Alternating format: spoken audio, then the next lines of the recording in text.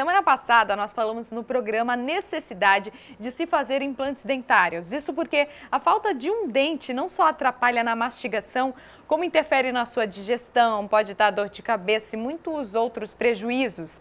Mas e depois do implante feito, qual que é o resultado? É isso que explica pra gente o doutor Rodrigo Pérez mais uma vez. Bem-vindo. Tudo bem, boa tarde. Doutor, é individual? Porque muita gente fica com medo de ficar aquele aspecto forçado, sabe? Sim, o aspecto é que muitos viram alguns artistas que reabilitou a, a boca com implante, parece tecla de piano, um é. branco falso, um dente falso.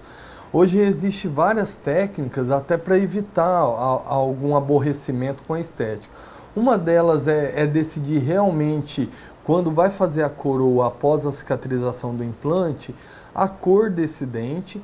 E, e para isso é bom fazer um clareamento antecipado em todos os dentes naturais desses pacientes para ele entender qual é a cor natural do dente dele, que já estava amarelado com o tempo, e para assim seguir a cor natural do dente, não uma cor amarelada da boca naquele momento.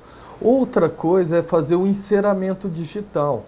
Nós temos condições hoje de saber tudo como vai ficar desde o início do tratamento.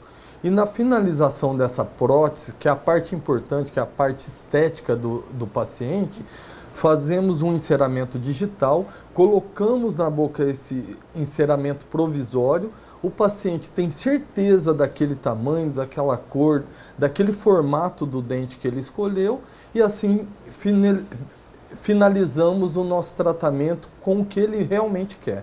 Poxa, que bacana. Mas assim, é, fica, pode ficar amarelo esse dente do implante? Ele pode pegar a coloração dos alimentos? Não, porque ele é uma porcelana. E essa porcelana ela não, ela não vai ser tingida com, a, com coloração de alimentos, com corantes em refrigerantes, café. É, possivelmente ele vai passar 10 anos com a mesma cor de dente. O que vai voltar a amarelar são os dentes naturais dele. Então, a durabilidade da estética do implante ela é muito longa e duradoura. Hoje temos casos de implantes com coroas de porcelana que têm 20 anos na boca do paciente com a mesma qualidade estética. Que bacana. E depois, depois que se faz o implante, é preciso uma manutenção? Não é necessário? Isso é, é necessário, pelo menos anualmente, radiografar, ver o encaixe, porque a base da, da prótese dessa coroa de porcelana que estamos falando, ou ela é de zircônia pura, que é uma tecnologia nova, que ela é digital, ou ela é metálica. E se não tiver bem encaixado, vai desgastar a cabeça desse implante, ocasionando até a perda do implante. Então, o, o ideal é pelo menos uma vez por ano fazer uma limpeza completa e se o implante não é cimentado e sim parafusado, aí gente, nós podemos tirar, limpar todo por dentro, recolocar, radiografar e ver que está 100%. E assim, não tem nenhum problema de entrar algum alimento, alguma coisa nesse sentido. Ele fica como um dente natural mesmo. Ele fica com um dente natural com algumas ressalvas. O natural sempre é mais confortável. O que, que acontece com o implante dentário? Ele, como a pessoa geralmente, quando perde o dente, perde uma parte óssea junto e uma parte gengival, possivelmente pode criar algumas localidades mais fácil de acumular alimento. E aí ela vai ter que ter uma, um, um cuidado a mais. maior, né? É, ou, ou disponibilizar algum tipo de procedimento mais fácil para essa limpeza. Alguma escova bitufo, uhum. um passa-fio, que é uma ponta plástica para passar o fio dental.